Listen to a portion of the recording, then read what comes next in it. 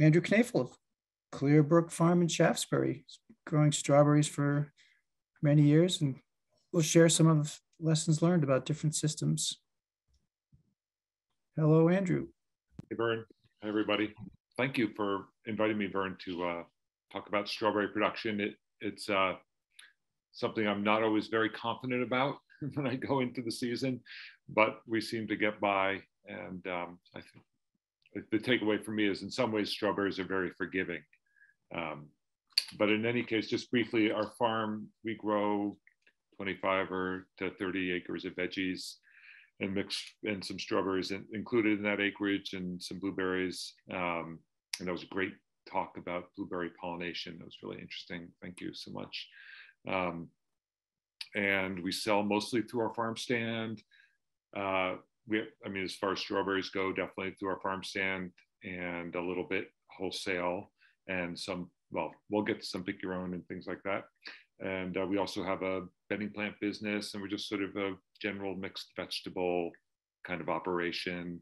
And we started in uh, first season was 1995, and I think the first year I grew strawberries was like 96 or 97.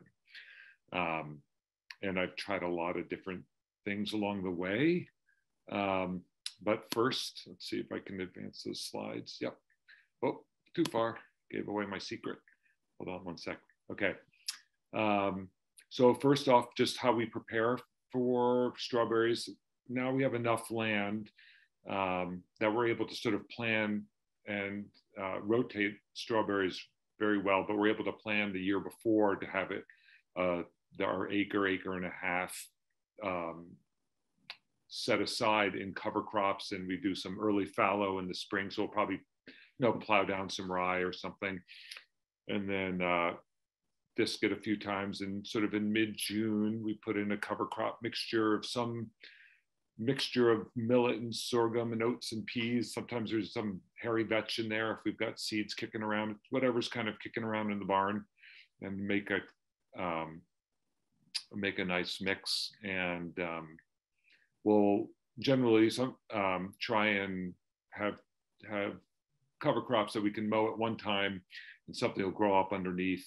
And um, so it's yeah so like sorghum you know or, or millet you mow off the oats and peas and then all of a sudden that stuff is released and it, and it kind of takes over for the later part of the season uh, we plant nine like i said there nine to nine 9500 plug our roots a year uh, and our spacing we used to do 36 inch spacing between rows and um, we've changed that so that now um, we're planting like it ends up we're at 72 inch rows and um, I guess I have a slide talking about that later, but it covers about one point one and a quarter to one and a half acres. This year we're going to cut back to 8,000 roughly 8,000 crowns um, so that we can uh, have a little more take a little more care of what we're what we're growing.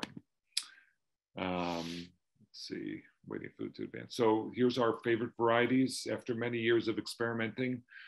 Um, and certain varieties we grow that we have grown are no longer available. Like we love sable. We used to grow sable um, for an early plant, early variety, but it, we just can't get it anymore. So we grow two different early ones, Galletta and Wendy. I really like Wendy um, for flavor and it's just a nice looking berry and it's great for pick your own. Galletta is also nice. It's nice to have two options early. Sometimes, you know, if one isn't doing as well, I like to cover my bases. Um, Cavendish, you know, for anybody who's been growing in New England, probably you've all grown Cavendish. It's a it's a fantastic fruit. Um, sometimes they're just massively huge, and uh, I don't seem to have the problem. They used to get white shoulder or white sides, and I haven't had that problem in years. I don't know why that is, but I have been having some problems with establishment of Cavendish the last two years. And I'm not sure it's probably us, but I'm definitely keeping an eye on it. And I have a couple new sort of mid-season Cavendish slot varieties that I'm trialing this year for next year. Um, I'm planting this year. I don't remember their names, but um, but just to see if if there's some option out there or yeah, what's going on? We'll find that out. Jewel, love Jewel.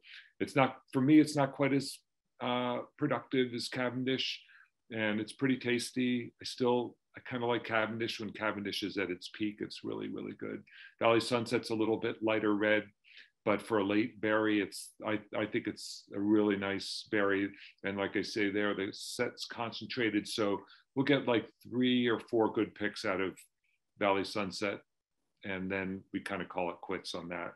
And then Mesabi is really, really late, sometimes like two weeks after Valley Sunset.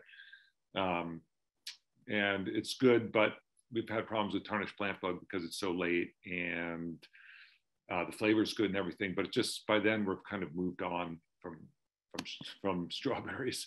Thank goodness. My crew sort of they they uh, they kind of go on strike if I have to send them out two weeks after we stop picking some other strawberry to go pick strawberries. So um, anyways, uh, but this is how we plant. We use a single row. We this is a Checchi transplanter that I bought, and um, I didn't like it very much. So after three years, I just could not get it to plant well. Uh, it always had a deep furrow. It's just a pain in the neck.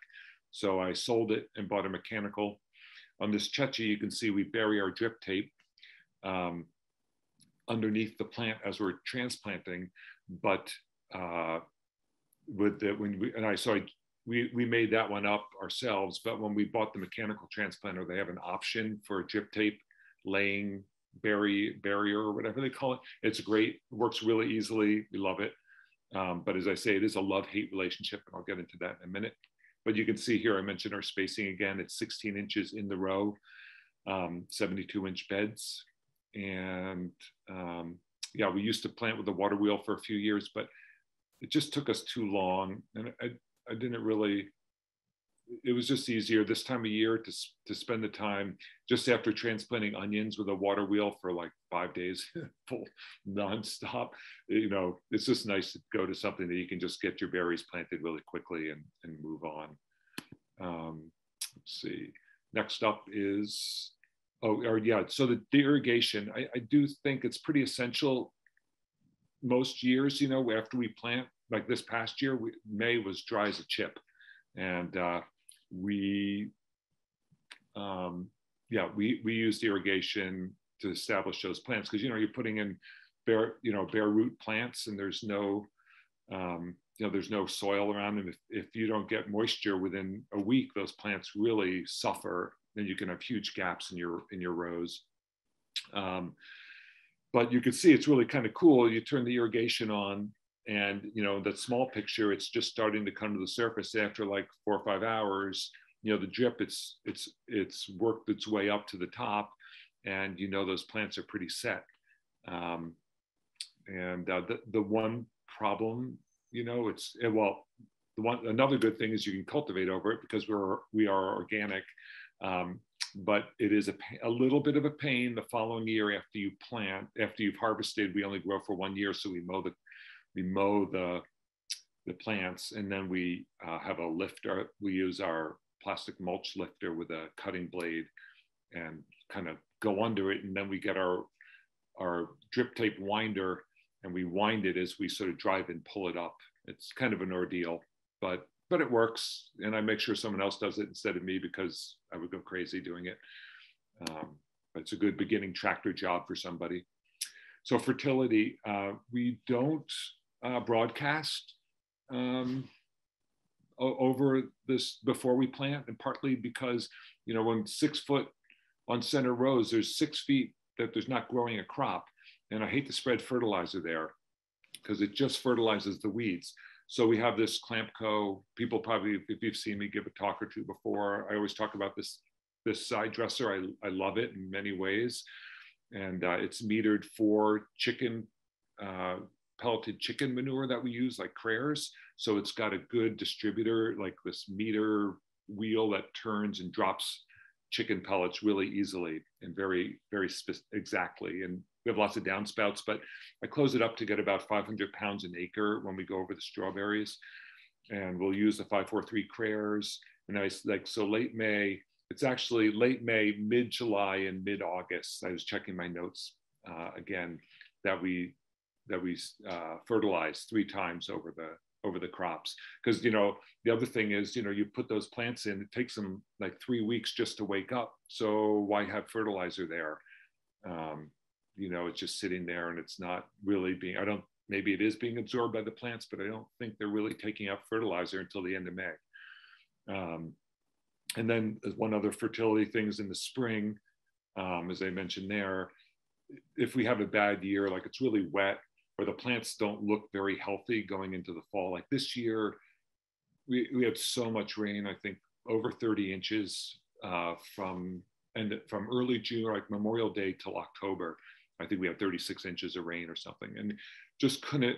You know, the plants looked really weak. We couldn't fertilize enough, and um, so so this spring I'll be I'll be side dressing, and then our rate is like 80% Kreher's to 20% Chilean, just because you don't want your berry. I don't think one wants to have their strawberries getting a shot of nitrogen as the fruit's ripening. So we we try and get it on as soon as we take the straw off.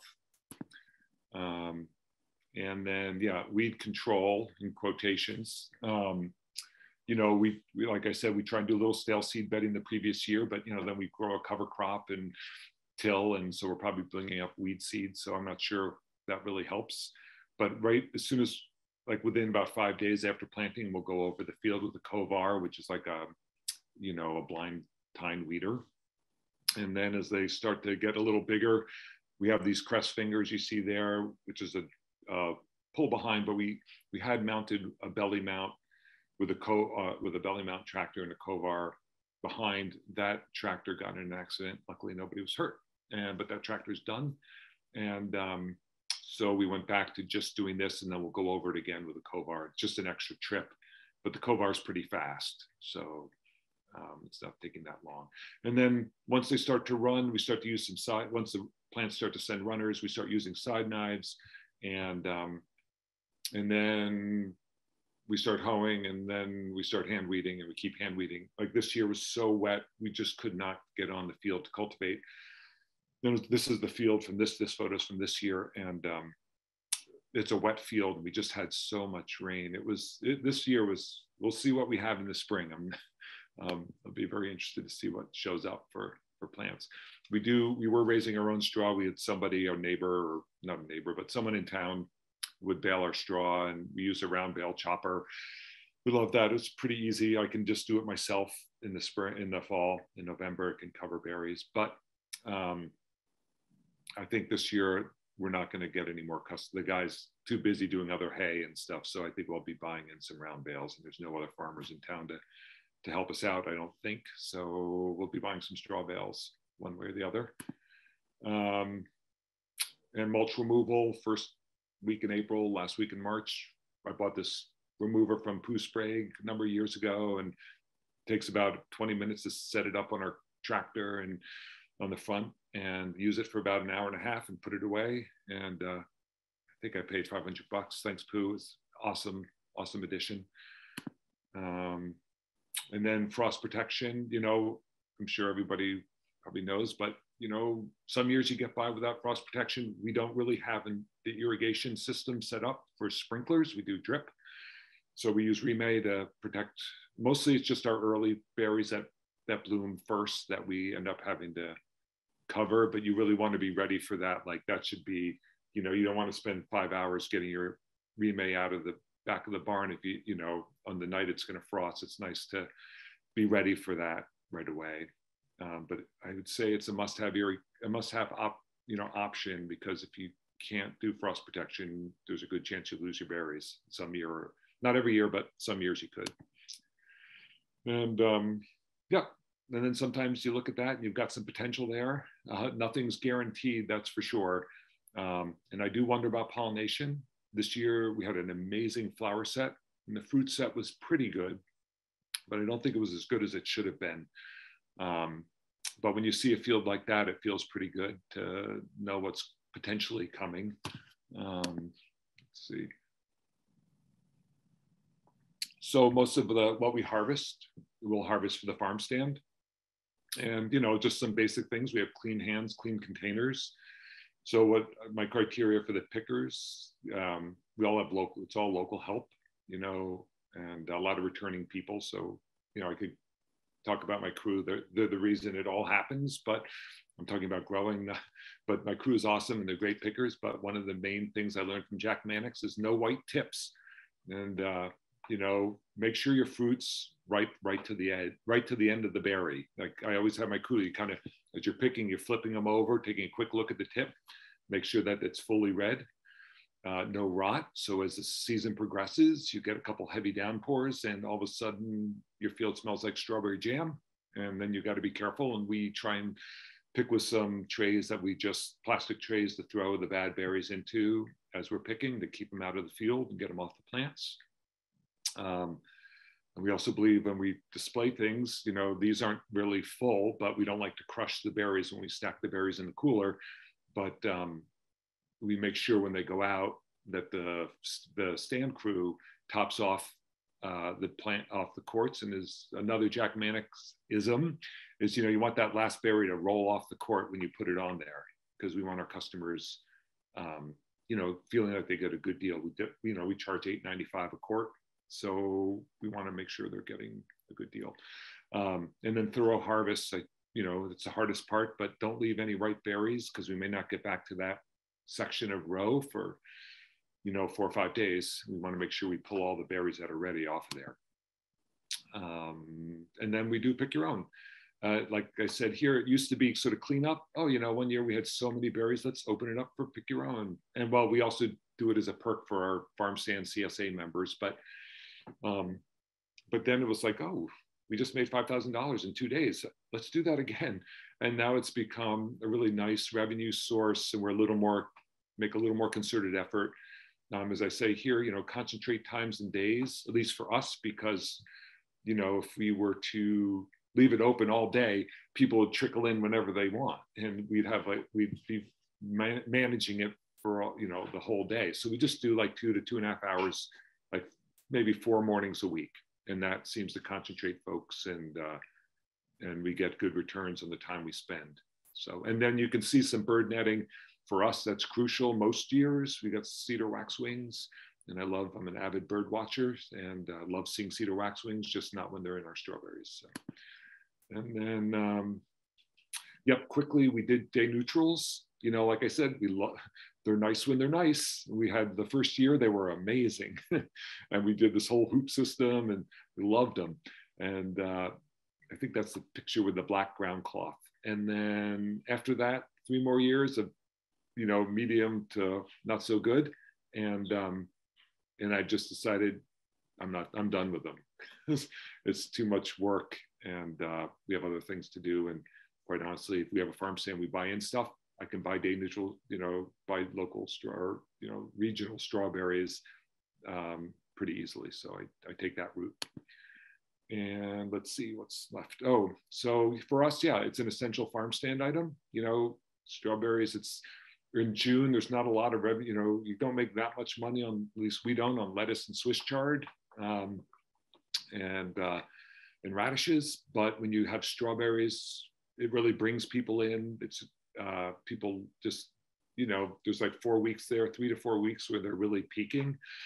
And, um, and we love it. It's, a, you know, like I said, it's a great draw and helps sell other things. Um, I'm trying to think. Yeah. And we don't want them to come into, we don't like our strawberries too early because we don't really open our farm stand for produce. We're doing plants until the first weekend in June, and then people are still in school. But at that first day that school's out, strawberry sales double or something like that. You know, it's really it's noticeable. So yeah, so that's that. We do sell some berries across the street to a place that makes ice cream and uh, awesome strawberry ice cream. And let's see what's left on the slides. Oh, that's it. And uh, thanks. If there's any questions, I don't know, I can look through the chat. Here. Thanks so much, Andrew. Awesome. Uh, some questions about pricing. What's the price for quarts and also for pints? And I guess you did mention retail. How about pick your own? And will you be raising your prices this year? Yes, we'll be raising our prices. I think it's hard to it's just it's hard to go above 890 we sell them for 895 a quart and i think if you get two or two or more it's like 850 or if you get four or more it's 850 i can't remember and that's for quarts pints are 495 um, and I just, you know, I maybe I'm I'm living the dark ages. It's hard to imagine. I would love to if people want to put in the chat what they're charging retail. I mean, it's one thing at a farm, you know, I always say one thing at a farmer's market, a farmer's market, it's kind of a buzz and, you know, people are there once a week and they'll spend 9.95 for a quart or whatever. But uh, for us, you know, we're open every day. It's people treat us like a grocery store, so they're a little more price conscious. 8.95 still a, a, big stretch in my in my mind, you know, to drop for a quart of strawberries. So I'm not sure about pricing yet. Um, and then, how about pick your own? Uh, pick your own. We're 350 a pound, so we end up charging like six or seven dollars a quart, I think. And so it's pretty good. So it's almost the same as retail, but we don't have to pay for the picking. Yeah. What was the other question, Vern? I'm sorry. I think you answered it. It was about raising the price. And um, the other question was about how deep you install the drip tape. Oh, um, well, with the mechanical planter, it just has, it's in the shoe. If you guys know mechanical planters, it's got this shoe that the, the little basket fingers pick up your berry and they drop them, they drop it down and the shoe is like here and it puts it down. I'd say it's like an inch or so above the bottom of the shoe or inch and a half. There's a little, um, like a little pulley. It's not a pulley, but just like a little spline that you put the drip tape underneath and it feeds it. And so you just have to hold the drip tape for the first foot or so that you're getting the transplanting till soil gets on it. And then it just goes along and it, we, oh, and one, one crucial aspect of that is we use the, the heavier drip tape, the 15 mil that we, when we bury it, because if you use the eight mil, you'll never pull it up. It'll just break on you constantly. And even the 15 mil breaks sometimes, but um, yeah. And then, you know, there's been years where we really haven't used the drip tape, but I'll tell you the years that we use it, it's, you know, pretty much the last three years we've used it both spring in planting and spring during uh, harvest or, you know, for this, the fruiting crop. When we've had a dry time, we'll definitely hit hit the hit the plants with water. It makes a huge difference for sure. Last question, just confirming you're on six foot centers with a single row? And That's what's correct. the Yeah, rationale six- for that? Yeah. Um, well, that's what we're set up for. I mean, I guess we could, we could get a little closer. Um, but everything that we grow, like our tires are at 72 inch centers. So we just kind of stick with that. Um, and by the time the plants, you know, we try and keep them narrow, but it, I don't know, we could get a little closer, but then it's hard to you know, who's ever driving the tractor and the transplanter, um, maybe it's a little bit harder to drive straight sometimes. And um, you know, like I said, also we have the we have the field space, so um, so it's not really it's not we're not feeling pressed for space just because we have access to more land than we need. Great, thank you so much. Welcome.